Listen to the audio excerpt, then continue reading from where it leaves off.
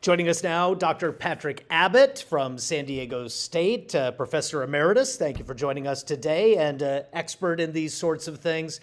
From your analysis thus far, I know this is new news to us and to you. What do you make of tonight's activity? Well, you know, living in California, we expect an earthquake every day. So, on the one hand, uh, here, here's one, and at, a 5.2 magnitude, that's one that's going to be widely felt, sometimes so surprisingly widely felt. So it definitely catches people attention. The really good news about a 5.2 is usually we don't really have any serious damage until we get magnitude six and up. Now, of course, there's always the, you know, the, the unusual little things like a vase falling off a shelf on somebody's head or something or other. But basically, in terms of what this means, it's not a that large event. It's more of a wake up call, a reminder of where we live. But at the same time, we say that, we also have to say that not from scientific data, but from historical data, something like this, there's a 2% chance or so that this could be a foreshock. And obviously, that would then be a much larger concern. Yeah, and I think that's where this leads a lot of people is what does this mean? A lot of people try to equate these things together, but that's not exactly how the science of earthquakes works. Is that correct?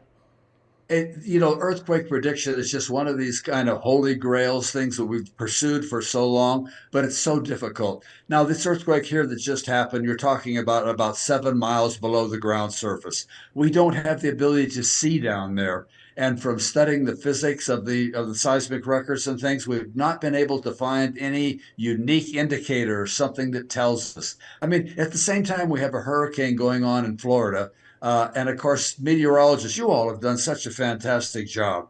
But you get to see things you know in satellites and drones and such and get information fed to you. We can't see seven miles deep and therefore we all we can say is we cannot predict as I mentioned, uh, this could be a foreshock, but that's off of historic records. You look and say, how often is an earthquake of this size in this area followed by something bigger? Well, maybe 2% of the time, but that's not a direct warning. But I guess, you know, in many ways, the most important thing for an earthquake of this size is just a reminder. We now have been pushing for quite a number of years the, the best thing for most people to do during an earthquake to drop cover and hold on. You know, right now I would I would go right underneath the dining room table. I would grab both legs and make it like a turtle shell and hang on and wait till the shaking stops. Because the real danger actually is not the earthquake, it's things falling on you.